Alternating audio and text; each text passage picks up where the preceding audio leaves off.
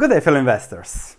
When it comes to investing, investing now in India that has a very little uh, GDP per person and it's growing at the fastest rate in the world, 5 to 10% per year, will probably continue to go grow that fast, might be a very, very smart portfolio exposure, very, very smart thing to do now. Simply let it grow for the next 20 years, like China did, and therefore I always look for Indian investments. And one investment that is very interesting is Fairfax India. It has been founded by Prem Watsa, what they call the Canadian Buffett, that is originally from India but uh, moved to Canada and built an, a Canadian empire of financial banks. And he has set up this investment vehicle that you can buy on the Canadian Stock Exchange and uh, uh, gives you exposure to great Indian assets like the Bangalore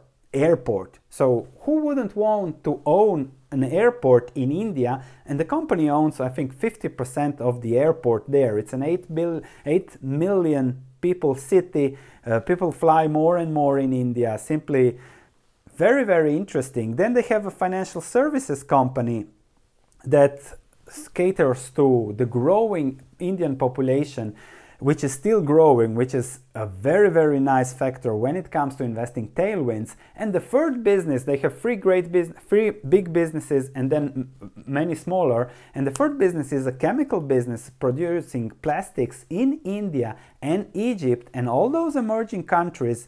Demand for plastic as GDP grows is expected to really, really boom. And they have a lot of investments some in agricultures building new silos for storage etc so a company that's oriented to expose to the indian growth. And then when i see such a holding company okay i want to dig deeper. I want to see what are the look through earnings. What are the earnings of each holding?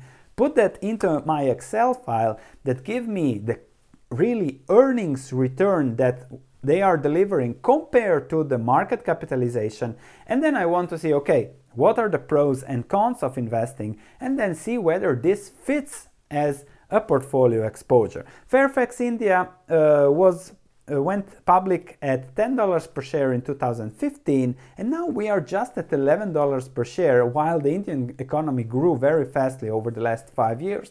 There have been good developments and uh, let's see whether this is a bargain now that the stock has been significantly hit and whether this is a good exposure to the Indian economy. Let me give you an overview and then let's discuss some facts that we'll see whether you can swallow before investing. So these are the holdings. Uh, IIFL Finance is a group that they hold with does wealth management, loans, and securities uh, trading. So as the market there grows, as the financial grows, as the economy grows, this is something very good to be exposed. Then there is uh, Fairchem, a chemical company, another chemical company, Sanmar, producing plastics, and we have uh, Bangalore International Airport that they own a big chunk of, which is something very, very good. For example, IIFL Finance, they expanded the number of branches by almost 10%. Everything is growing, customer base is growing, uh, their focus is on small ticket loans. They have separated to three companies finance, wealth management, and securities trading. So, all the things that will do well, especially as the economy is expanding. The results are good, the companies are very profitable. This is in um, crores, the profit, I think it's one crore is 144,000 uh, US dollars. So the equity value is 150 million. It is a bit higher on the balance sheet of Fairfax, but profits are 20 million for the first six months, so should be 40 million in total. And they get, as they Fairfax owns 26%, they should get about 10 million in that as look through earnings. So, not to waste time, I have looked at all the companies they own, what are the earnings on those companies, and then I have made an Excel sheet to show okay, what are the real earnings, what is the real balance sheet value and what is the share of earnings that Fairfax actually owns.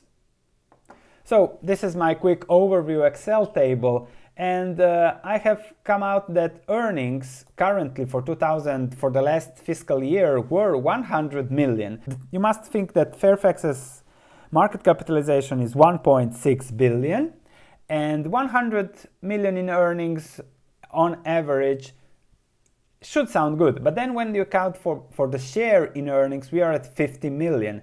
So 50 million on 1.5 billion, it's a price earnings ratio of 30, which is still very high. But when you account for companies like Sanmar that will have new plants in operations over the next two years and reach full capacity in Egypt and India on the plastics, only in a few years it might turn a profit. So the 100 million loss might turn to 100, 200, 150 million in profits. So I should give 50 million there.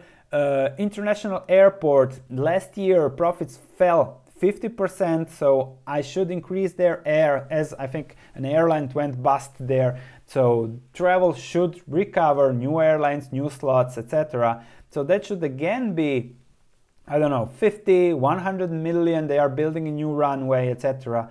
So that should again can be 50 million for Fairfax, and then finance uh, the IIFL is growing, and that should also be again 50 to 100 million. So at some point in time, I think that Fairfax India can reach 100, 150, 200 million in look through earnings through their companies, which is something very interesting. If they do it thanks to the Indian growth over the next few years, something very interesting on the current market capitalization of just 1.6 billion. We are talking returns of above 15% plus exposure to the growth in India.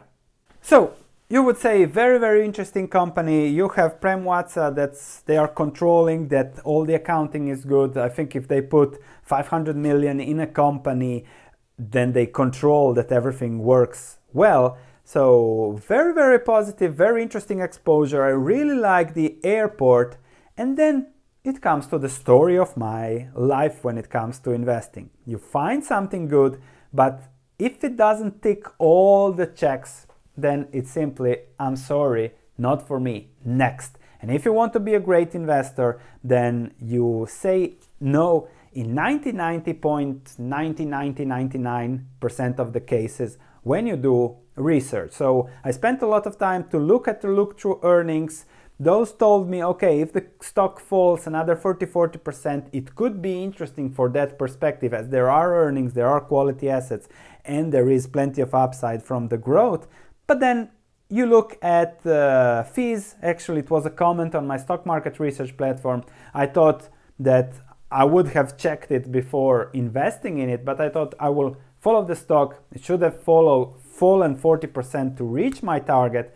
But then I've checked their fees, and it's not just a holding company where the management gets a salary. It's a hedge fund with a 220 fee. So over the last years, they have charged, they charge themselves 9 million in fees, fees on, what did we say, 50 million in look-through earnings. So what's 20% of the earnings are going to the company, plus they take 20% on every increase in value above 5% per year on a cumulative, rate. And the returns there are 13 14% on the bond they have invested, and they simply take 20% out of that.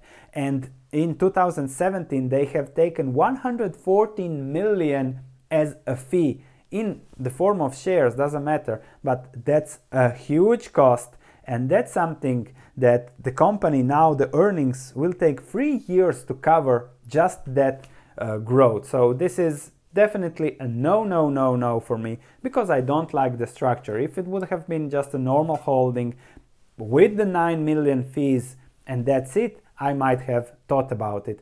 But with the performance, I'm cutting my upside and they'll cut that upside as soon as stock prices go up. Then they calculate the upside based on their cash flow estimations that have nothing to do with uh, what's really going on in the businesses because the difference between the cash flow estimations and the actual look through earnings are pretty volatile. So Prem Watsa is not the Warren Buffett of uh, Canada because Warren Buffett doesn't do such schemes where you simply skim off the top and you leave practically nothing except for a good story to your investors. So, Fairfax India, for me, no, no, no, no, thank you, and goodbye. I don't know how to say it in Hindi.